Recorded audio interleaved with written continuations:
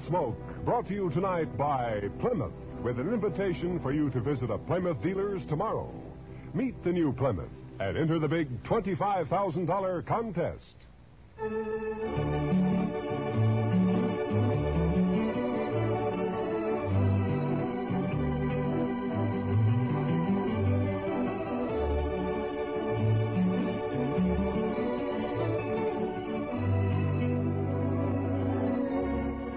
Throughout Kansas and in the territories on West, there's just one way to handle the killers and the spoilers. And that's with a U.S. Marshal and the smell of gun smoke. It's here, a new kind of low priced car. The exciting 53 Plymouth, completely new, completely beautiful.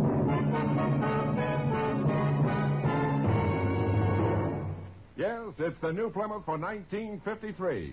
The first truly balanced car in the low priced field. More glamorous lines, more powerful engine, more luxurious comfort. What a beauty. The new 53 Plymouth is lower to the road with a lot lower look. New color schemes and two tone color harmonies available in all models. How does she travel? Man, Plymouth puts out the best ride in the business. Smooth as sailing, even in the back seat. And the Plymouth engine's been stepped up to 100 horsepower for pickup with plenty of flash. Visibility? I say, there's a one piece curved windshield, a new type with no troublesome distortion, and you sit chair height in a Plymouth. So you get the full benefit of Plymouth's new down sweeping hood. You really see right down in front of your car. Bigger side windows, too, and a huge wraparound rear window so everyone gets a view as big as all outdoors. The new 53 Plymouth's an exciting car, any way you look at it.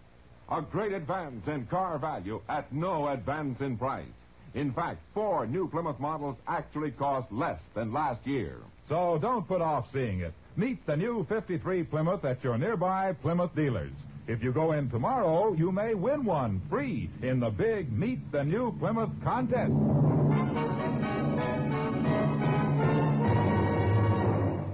And now, Gunsmoke, starring William Conrad. The story of the violence that moved west with young America. The story of a man who moved with it. Matt Dillon, United States Marshal.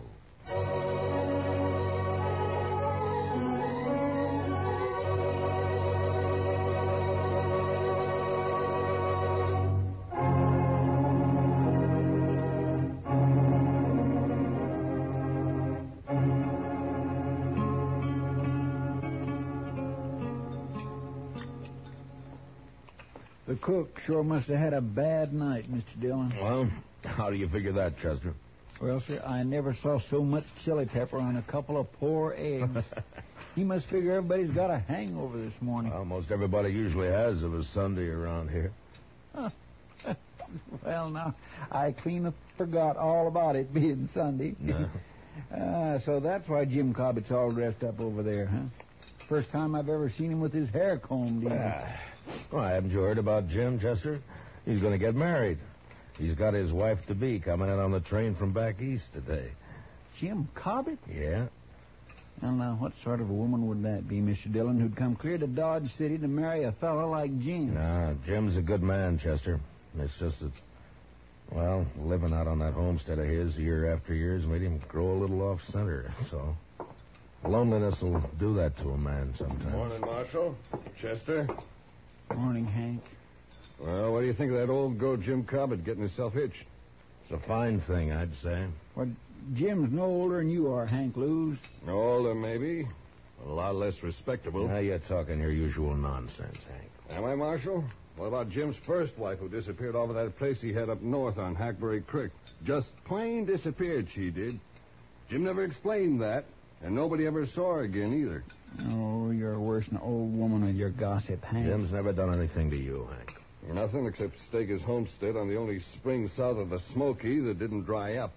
Cheated me out of it, that's what. He filed his claim two weeks before you did, Hank, and everybody knows it. Sneaked into town, that's what he did. Sneaked into town behind my back. Still telling your lies, ain't you, Hank Lewis? Now, now you keep away from me, Jim. Keep keep away. I've never bothered you, Hank.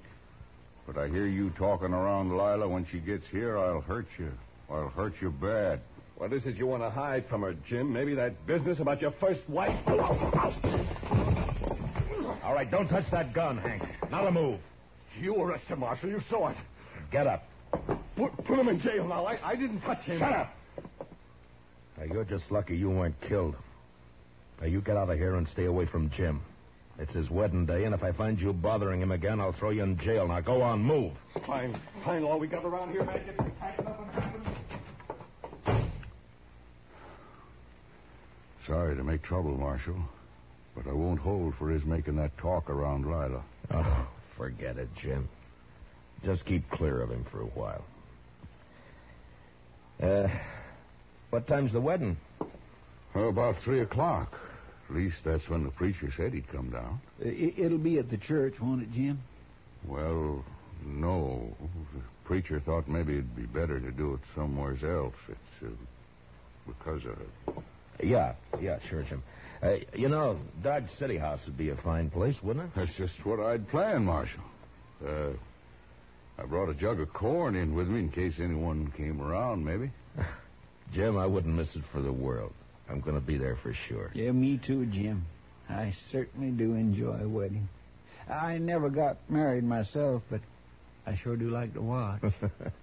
See you later, Jim. Sure, Marshal. We'll be there, Jim. Bye.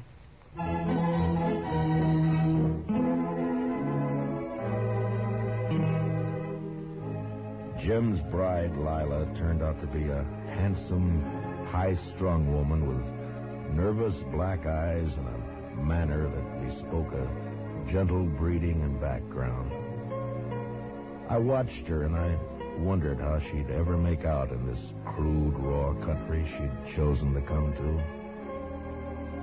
It was never mentioned how she and Jim had got together, but the few friends who gathered for the wedding didn't care. We were all pleased that Jim finally had a wife to break the loneliness that he'd set upon himself for so long. And after the brief ceremony at the Dodge City House, we told him so. well, it's about time, Jim.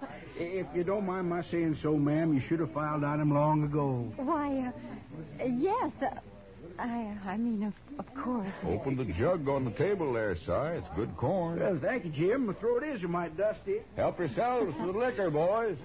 Thank you. Well, congratulations, Jim. And Miss Cobbett, my best wishes to you, ma'am. Thank you, Marshal Dillon. Now, you make Jim bring you to town and see us once in a while. he never came in much when he was alone out there. Oh, I'm sure he will, Marshal. I, I sure hope so, ma'am. Help yourself to the jug there, Chester. Well, thank you, Jim. If I can get it away from Si long enough, I will. Uh, you stay in here tonight, Jim? Well, no, Marshal. I brought the wagon on account of Lila here, and it's a slow way of traveling. Take a day and a half at best. But where will we sleep tonight, Jim? Oh, I got some blankets, Lila. We'll be fine. You mean out on the prairie? Well, sure. We'll bed down in the wagon if you're afraid of snakes. Oh, snakes can't get to you if you're in the wagon, man. But, but what about everything else? Indians. No Indians have been seen around here for months, I oh, know. Oh, no, you're wrong, Jim. A man from Walnut Creek told me he run into some Pawnees a couple weeks ago. Only about a dozen, though. Pawnee. Well, they didn't bother him, did they, Si? No, no, they didn't, Marshal. Yeah, you see, Lila? Well, they didn't bother him because he saw him first. He hid himself under a bank in the creek. Are there many Indians around? Oh, no, very few. Well, the Army's been after him pretty steady ever since them crows raided the Gillette place. The Indians been making themselves scarce last few months. What happened at the Gillette place? They had a little trouble, that's all, Lila. Little trouble to kill Bob and rode off with Mrs. Gillette and a child, that's all. Oh, no. Uh, Si, why don't you go get yourself another drink, huh? Mm, yeah, well, I was just thinking about doing that. Well, I suppose it'll be easier on Mrs. Gillette once she learns to talk crow, but still, it's a hard life on a white woman suddenly being made a squaw. oh. The uh, Oh, jug's almost empty, Si. You better hurry, huh?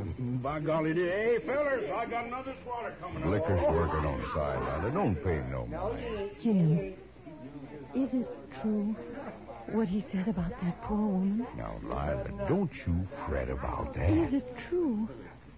I want to know, Jim. Yes. Uh, Jim, if you stayed in Dodge City tonight, well, you could start out before dawn tomorrow. Oh. Maybe it'd... No, Marshal. Jim thinks it's best we leave tonight. There's nothing to fear, Lila, but if you'd rather stay, we can... No, we'll go, Jim.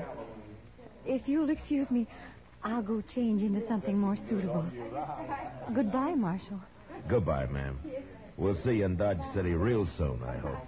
Of course. I'll be down shortly, Jim.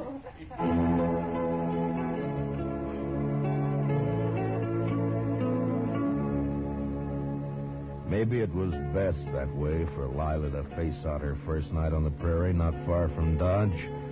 Nothing would bother him that close to town, and it'd make it easier for her on the next night.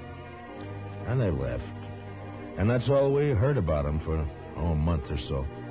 Gentle breeding and background. I watched her, and I wondered how she... Two boys were killed the next night, and another a few days after. But then things cooled off and became peaceable again. Hank Blues is in town, Mr. Dillon. Oh, no, Chester. Well, there ought to be a law against it, that's all. He said he was coming here to see you in a few minutes. Look, you talk to him, Chester. I think I'll go upstairs and pick on the doc for a while. Oh, oh, he doesn't want to see me, Mr. Dillon. I, I'll send him up when he comes. Uh, Chester. No. Yes, sir, but he'll ask me where you are, sir, and then what am I going to tell him? If... I want to talk to you. Well, all right, Hank. Go ahead, talk. You think I was lying about Jim Cobbett, don't you? Well, listen to this, Marshal. Lila's disappeared, too. What? I saw it with my own eyes. I mean, I saw she isn't there. What are you talking about, Hank? I'm telling you, Marshal, Lila's gone, just like Jim's first wife up on Hackberry Creek. She's plain disappeared. Well, go on. Well, I got a runty bay mare that's always running off, and I rode by Jim's place to see if he'd seen her. Jim was just sitting there, and he'd hardly pay me any mind at all. He was all alone, and when I asked him about Lila, he, he just walked off, wouldn't say a word. Well, maybe she was just out on the prairie somewhere. Then she stayed a long time. I was back next day and still didn't see her. Stock's gone, too. When was this, Hank? About a week ago. Now, Marshal, I think you ought to get out. I do my own thinking, Hank. Well, all right. But you better get out there, Marshal. I've told you now. yeah, you've and- told me, and you can forget it. Just stay away from the Cobbett place. You understand? All right, Marshal. I've done my duty. You better do yours. Goodbye, Hank. Well, I. Goodbye.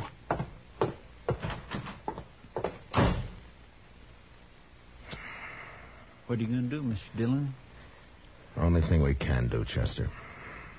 Go saddle our horses, will you? I got some things to clean up around here. Yes, Mr. Dillon.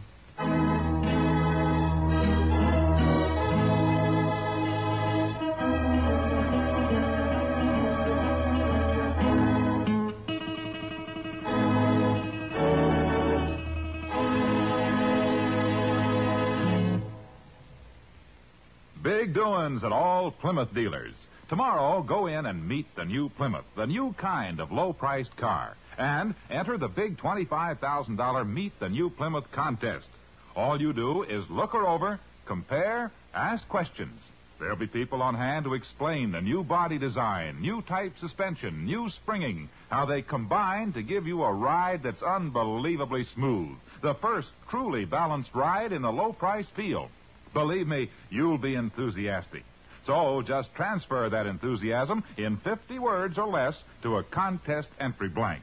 Tell what you like most about the new, truly balanced Plymouth for 53. That's all there is to it. And you may win a 53 Plymouth or one of hundreds of cash prizes. But entries must be mailed by Monday midnight. So hurry. Get an official entry blank containing all the easy rules tomorrow when you go in to meet the new 53 Plymouth. Now, the second act of Gunsmoke.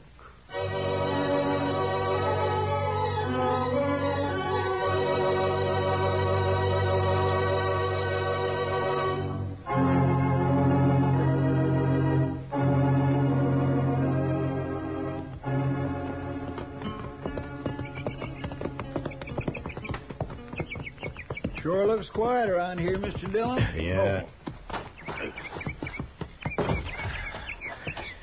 Yeah, come on. They're probably inside. You think Lila's here, don't you, sir? I will soon find out, Chester.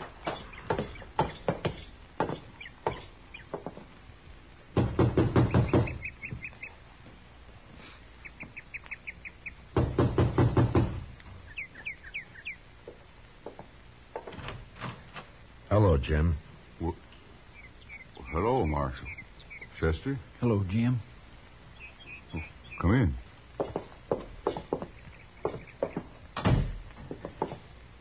How have you been, Jim?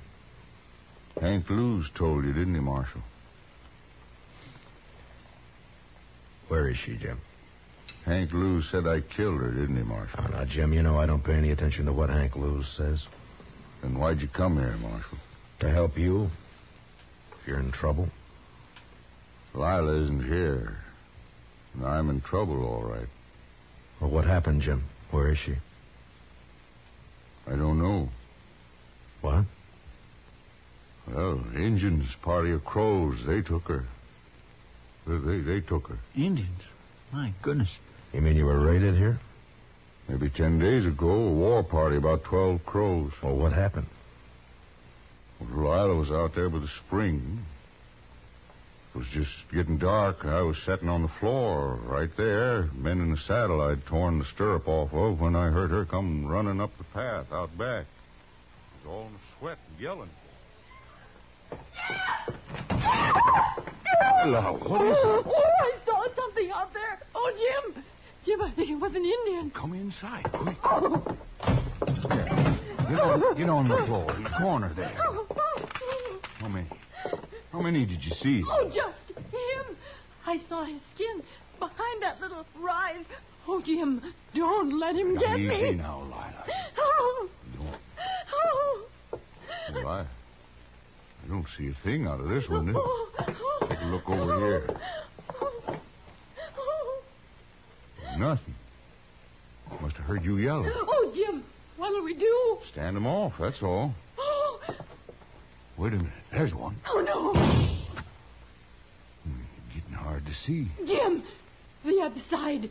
They'll sneak up on the other side. Might be one behind that log out there. Oh, no.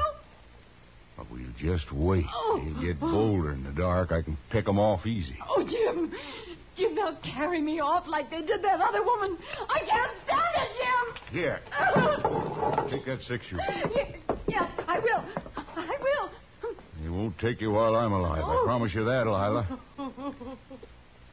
Wait a minute. They're down at the corral. They're after our horses. That'll show 'em. Here he goes. There was one behind that log. Oh, Jim, I can't stand it. Yeah, they're sneaking up on us.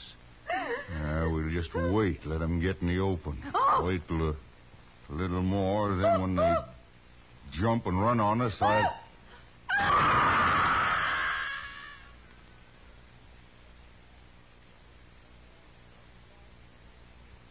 Oh! Well, go on, Jim. What, what happened then? Yeah. What'd they do when they rushed you? Well, one of 'em must have got in the window behind me.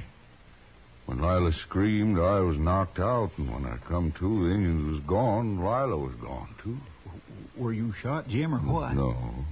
Injun must have got behind me somehow and clubbed me, that's all. Did you try to follow him? How could I, Marshal? They run off. The horses stole them. Yeah, I see. Anyway, I was out a long time. There wasn't a sign of anybody when I come to. Well, they could be in the Rocky Mountains by now. We'd never find them. Uh, I'll report this to Colonel Jenkins at Fort Dodge, and he can spread the word through the army post. Thanks, Marshal. I, I'm sorry, Jim, but I guess that's all I can do for you. Sure, Marshal. Uh, come on, Chester. Let's uh, take a look around outside and then get back to Dodge City. Yes, sir. So long, Jim. I sure am sorry it happened. So long.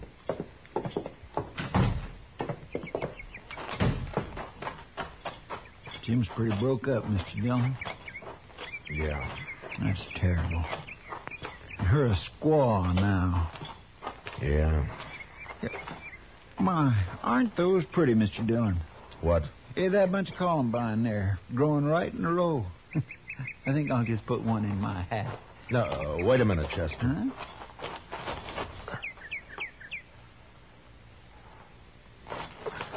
I, uh, I, I wouldn't pick them, Chester. They're, they're too pretty to pick, huh? Well, all right, sir. Jim stock is gone, all right. Mm-hmm. You know, Mr. Dillon, Jim Cobbett ain't the luckiest man in the world, is he? Well, he sure isn't, Chester. Come on, let's get out of here.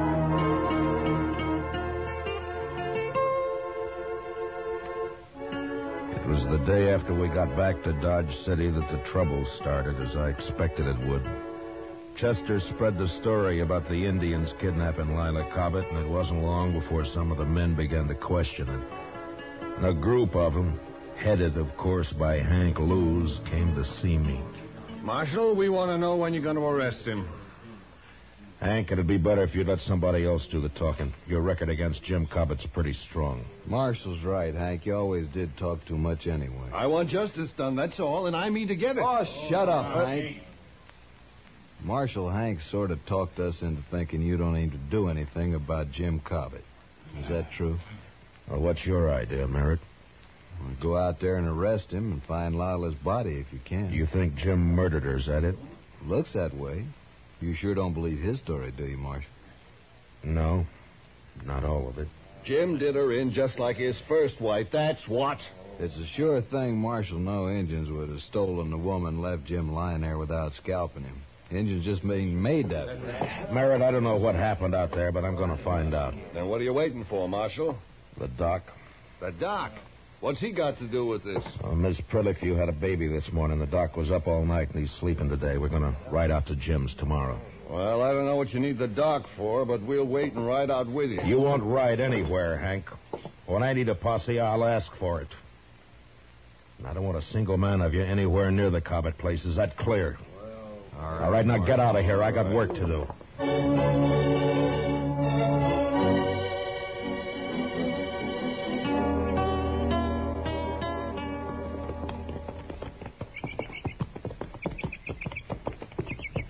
Mighty lonely looking place, Matt. Uh, yeah, indeed.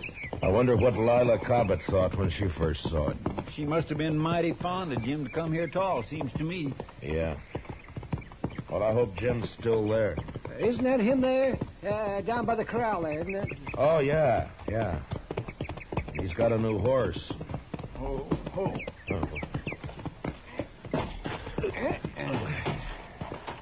Hello, Jim. What are you doing here, Doc? I had to bring the doc, Jim, to perform a sort of autopsy Autopsy. on Miss Cobbett. It's necessary, Jim, or I wouldn't do it. Marshal? Now, don't do it, Jim. You wouldn't have a chance. No. Take his gun, Chester. Yes, sir. All right, Jim, let's you and me go on into the house, huh? I don't imagine you want to watch this. Um, well, where is it, Matt? You want to tell him, Jim? Over there. Under that row of columbines. Well, I'll. So that's why you wouldn't let me pick any, Mr. Dillon. I watered the ground a lot to make it hard. It was a good job, Jim. Come on, let's go in the house. Shovels out back of the corral. I'll get it. Yeah, all that water and it, it didn't do any good.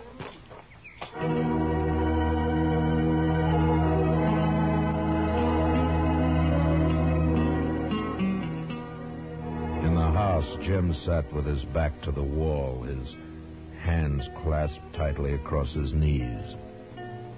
He was so gaunt and leathery that I wondered if he'd bothered to eat anything at all since this had happened. He just sat there as if waiting to be sentenced and not caring very much one way or the other. Finally, Doc and Chester were finished, and they came into the. Got back to Dodge City that the trouble started as I expected it would. Chester spread the story. I know, but what did you find? Well, she was killed by a 45. Fired at close range. Bullet entered her head just under. Never mind, Doc. Jim's gun here is a 45, Mr. Dillon. You want to tell us about it, Jim? You think I killed her, Marshal? Well, it looks that way, Jim. But I still can't believe it. Thank you, Marshal. If you did it, Jim, you're going to hang for it. The crows didn't attack the house, Marshal. They never aimed to. They just dodged around out there, some of them, to cover for the ones that ran the stock off. They didn't want to fight, just to stalk. Yeah, it's happened before. Lila screamed and screamed. I guess she went kind of crazy. Then I heard a shot. First, I thought she was shooting at the Injuns, but then I saw her on the floor there. I didn't care after that. They could have come right in there. They could have done anything they wanted. I didn't care. You, uh. You'd given her your six gun, is that it? Yes. The crows didn't bother you after that? They just took the horses and left? I didn't care about them. I buried Lila out there right away. And I sat there on the ground all night. Everything would have been all right, Marshal, but when Hank Lewis came by, I got scared. I didn't want to talk to him, but I knew what he'd say. So, I put water on the grave and tried to hide it. Except for the flowers I'd planted. I just couldn't not have planted flowers there. Yeah, he's telling the truth, Matt. Yeah, Jim isn't lying. No, no, sir, he certainly isn't. Uh, there, there's no reason I know of why Jim should stand trial. What about Hank Lewis, Mr. Dillon? He'll make trouble. Uh, the three of us here have heard the story and seen the evidence. Hank's talk doesn't mean a thing. I, I have no cause to arrest Jim. Then I can go, Marshal. Go? Go where? I don't want to live here anymore. It's like the other place up north after my first wife rode off. She just said goodbye and rode off one day. I was ashamed of that, so I never told nobody what happened. I left the place. Like I'm leaving this one. Well, you got to settle down sometime, Jim. No, no, I don't. I got bad luck both places. I won't settle down no more. We won't stop you, Jim. I think I'll go now, Marshal. I don't want to spend another night here. I'll get my things together. Yeah. Uh, we'll wait outside. Come on, Chester. Doc.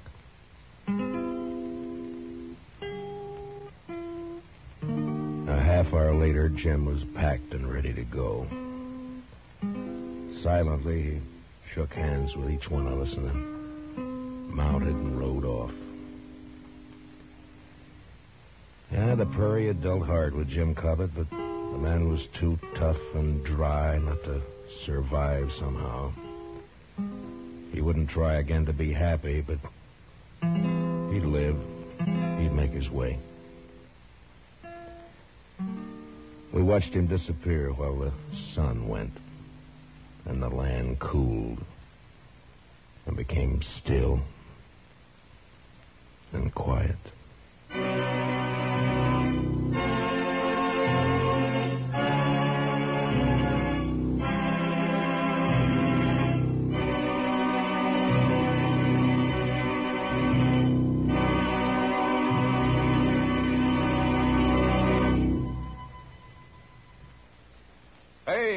Hurry! The Big Plymouth contest closes Monday midnight. Your last chance to win a new 53 Plymouth free or a big cash prize. Go to your nearby Plymouth dealers tomorrow. Meet the new Plymouth. Look it over stem to stern. Ask questions. Find out all about this new kind of low priced car. Then, on an official entry blank in 50 words or less, tell what you like most about this great new beauty. But remember, entries must be mailed by Monday midnight, so be sure to visit your Plymouth dealers tomorrow to pick up your contest entry blank and meet the new 53 Plymouth.